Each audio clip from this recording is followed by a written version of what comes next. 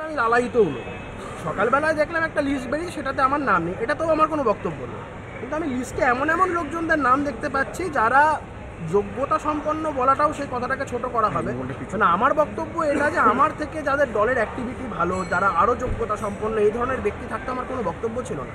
কিন্তু যারা দিনের পর দিন দলকে হেয় প্রতিপন্ন করে যারা দলে যাদের কোনো কার্যকলাপ নেই সেই সমস্ত মানুষ এআইসিসির মতন একটা প্রেস্টিজিয়াস লিস্টে তারা স্থান পাবে।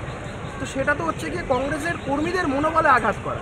আমি সকাল থেকে আমার দুটো ফোন জুড়ে মানে আমি একটা সেকেন্ডও বিরাম পাচ্ছি না, সারা পশ্চিমবঙ্গের যত কংগ্রেস কর্মী, সবাই ফোন করছে, বলছে, দাদা, আমরা এই দল আর করতে চাই আমরা আহত এই বিষয়টা কারণ এইভাবে দিনের পর দিন অপমান, এটা সহ্য করা যায় না। কারণ আমি বলছি যে নব্বই, আমি তো চ্যালেঞ্জ করছি।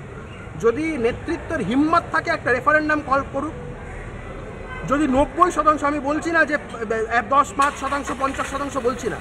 যদি নব্বই শতাংশ দলের কর্মীরা আমার পক্ষে মত না দেয়, আমি মাথা পেতে নেব দল যা সিদ্ধান্ত নেব আমি সমস্ত কিছু ছেড়ে দেবো, আমি প্রফেশন ছেড়ে দেবো, আমি রাজনীতি ছেড়ে দেবো। আমার নাম নেই, যে কেন নেই, সে তো আমি বলতে পারব না, কিন্তু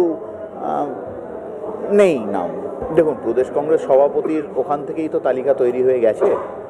এবার তারপরে কি হয়েছে, না হয়েছে, তালিকায় কি ছিল, না ছিল, সেগুলো তো আমাদের জানার কথা নয়, আমরা জানিও না, বলতেও পারব না, কারণ এই প্রক্রিয়ার মধ্যে আমি যদিও দলের সাধারণ সম্পাদক আর থাকব না, কারণ এআইসিসি সদস্য না হলে এক্সিকিউটিভে থাকা যায় না, ফলে প্লেনারি পরে আমাকে রিজাইন করতে হবে অফিসিয়ালি পরবর্তীকালে নতুন সভাপতি এসে যদি নতুন করে কিছু হয় বা এই সভাপতি যিনি আছেন, তিনি যদি নতুন করে কিছু করেন, সেটা পরের ব্যাপার। কিন্তু নিয়ম হচ্ছে প্লেনারির পরে এক্সিকিউটিভ কমিটি ওয়ার্কিং কমিটির নির্বাচন হয়ে যাওয়ার পর যেটা হতে চলেছে আগামী ছাব্বিশ তারিখে সমস্ত কমিটিগুলিকে ডিফাঙ্ক্ট করে দেওয়া হয় এবং সেই তার পরবর্তীকালে আবার নতুন করে করে কমিটিকে রিঅ্যাপয়েন্ট করা হয়।